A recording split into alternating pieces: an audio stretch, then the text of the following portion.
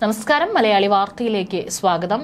Israel ഇപ്പോൾ നേർക്കുന്ന് ഇറാനുമായി യുദ്ധത്തിൽ ഏർപ്പെട്ട് നിൽക്കുന്ന ഒരു സ്ഥിതിയിലേക്കാണ് ചെന്നെത്തി നിൽക്കുന്നത്. പശ്ചിമേഷ്യ കത്തിയെരിയുകയാണ് എന്ന് തന്നെ വേണം പറയാൻ. കരയുദ്ധം കഴിഞ്ഞ ദിവസം ഇസ്രായേൽ ആരംഭിച്ചിരിക്കുകയാണ്. ഇത്രയും കാലം ഞങ്ങൾ ഏത് നിമിഷവും കരയുദ്ധം ആക്രമിക്കുമെന്ന സൂചന നൽകിയിരുന്നുവെങ്കിലും കഴിഞ്ഞ ദിവസം രാത്രിയോട് കൂടിയിട്ടാണ് ഇസ്രായേൽ കരയുദ്ധം ആരംഭിച്ചിരിക്കുന്നത്.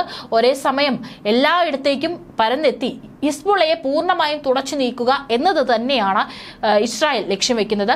ആ ഒരു വേളയിലാണ് ഇറാൻ ജനതയെ ഞെട്ടിച്ചുകൊണ്ട് ഇപ്പോൾ ഇസ്രായേൽ പ്രധാനമന്ത്രി ബെഞ്ചമിൻ നെതന്യാഹുവിന്റെ ഒരു സന്ദേശം വന്നെത്തിയിരിക്കുന്നത് ആ സന്ദേശത്തിൽ അദ്ദേഹം കൃത്യമായി പറഞ്ഞിരിക്കുന്നത് ഈ കാര്യങ്ങളാണ്. ഇസ്രായേൽ നിങ്ങൾക്കൊപ്പമുണ്ടെന്നും ഇറാൻ ഉടൻ സ്വതന്ത്രമാകുമെന്നാണ് നെതന്യാഹു ഇറാനിലെ ജനങ്ങൾക്ക് നേരിട്ട് നൽകിയ സന്ദേശത്തിൽ പറഞ്ഞിരിക്കുന്നത്. ഇറാൻ പിന്തുണയ്ക്കുന്നുവെന്ന് ആരോപണമുള്ള ഹമാസിനും ഹിസ്ബുള്ളയ്ക്കുമെതിരെ ഇസ്രായേൽ യുദ്ധത്തിൽ ഏർപ്പെട്ടിരിക്കുന്ന ഘട്ടത്തിലാണ് നെതന്യാഹുവിന്റെ ഈ ഒരു അസാധാരണമായ സന്ദേശം പുറത്തു വന്നിരിക്കുന്നത്. എല്ലാ ദിവസവും നിങ്ങളെ സ്വാധീനിക്കുന്നതിനായി ലബനെ പ്രതിരോധിക്കുമെന്നും ഗാസയെ പ്രതിരോധിക്കുമെന്നും പറഞ്ഞുള്ള തീപ്പൊരി പ്രസംഗങ്ങൾ നടത്തുന്ന ഒരു ഭരണകൂടത്തെ നിങ്ങൾ കാണുന്നു. എന്നിട്ട് എല്ലാ ദിവസവും ആ ഭരണകൂടം നമ്മുടെ പ്രദേശത്തെ കൂടുതൽ ഇരുട്ടിലേക്കും ആഴത്തിലുമുള്ള യുദ്ധത്തിലേക്ക് ആഴ്ത്തുന്നു എന്നാണ് നെതന്യാഹു തന്റെ വാക്കുകളിലൂടെ പറഞ്ഞിരിക്കുന്നത്. ഇറാനിയൻ ഭാഷയിലുള്ള സബ് ടൈറ്റിലോട് കൂടിയാണ് നെതന്യാഹു വീഡിയോ സന്ദേശം നൽകിയിരിക്കുന്നത്. ഇറാന്റെ പാവകൾ ഇല്ലാതാകുകയാണെന്ന് പറഞ്ഞ നെതന്യാഹു പശ്ചിമേഷ്യയിൽ ഇസ്രായേലിന് എത്തിച്ചേരാൻ സാധിക്കാത്ത ഒരിടവും ഇല്ലെന്നും മുന്നറിയിപ്പ് നൽകിയിട്ടുണ്ട്. ഞങ്ങളുടെ ജനങ്ങളെ സംരക്ഷിക്കാൻ ഞങ്ങൾ എവിടെ വരെയും പോകുമെന്നും അദ്ദേഹം കൂട്ടിച്ചേർത്തു. ഓരോ നിമിഷവും കുലീനരായ പേർഷ്യൻ ജനതയെ നിങ്ങളുടെ ഭരണകൂടം അഘാതത്തിലേക്കാണ് എത്തിക്കുന്നത്. ഇറാൻകാരിൽ ബഹുഭൂരിപക്ഷത്തിലും അവരുടെ ഭരണകൂടം തങ്ങളെക്കുറിച്ചൊന്നും ശ്രദ്ധിക്കില്ലെന്നും അറിയാം.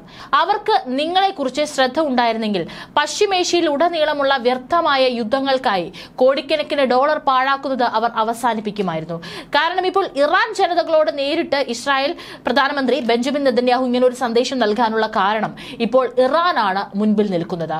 ഇസ്രായേലുമായി ഒരു തുറന്ന യുദ്ധത്തിന് തയ്യാറായിട്ടാണ് ഇറാൻ നിൽക്കുന്നത്.